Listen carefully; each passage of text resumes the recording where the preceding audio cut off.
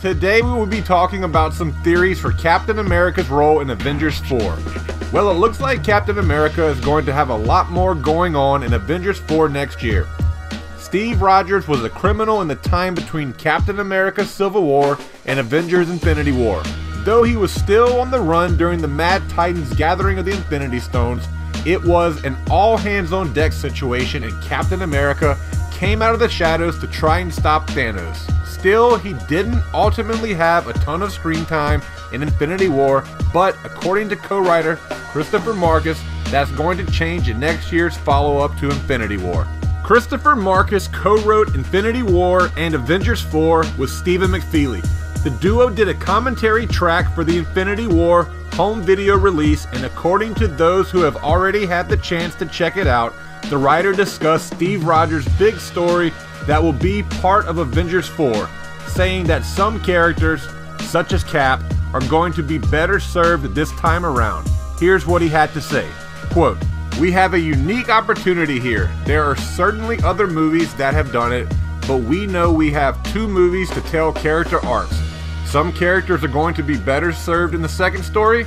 I think it's okay to say that Cap has a big story in the second one, end quote. It's fair to say that Chris Evans' role as Steve Rogers in Infinity War was significant, even if it only consisted of about 7 minutes on screen.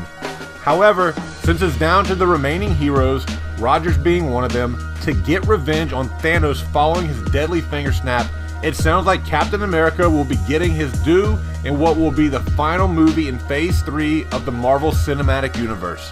As for what this story is going to be, that's anyone's guess at this point.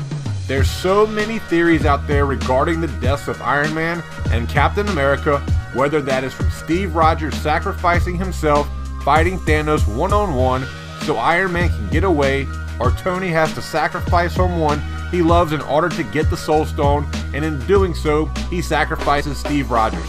There's Captain America picking up Thor's hammer to fight Thanos right before he dies, Whatever happens is going to be super dramatic to say the least.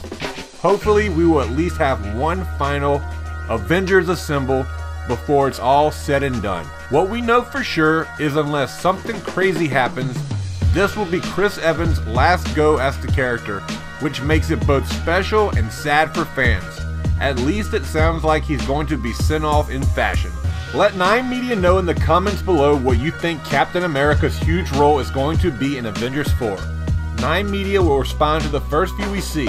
My name is Blaine from 9 Media, and we appreciate you sticking around until the end. And it's on to the next one.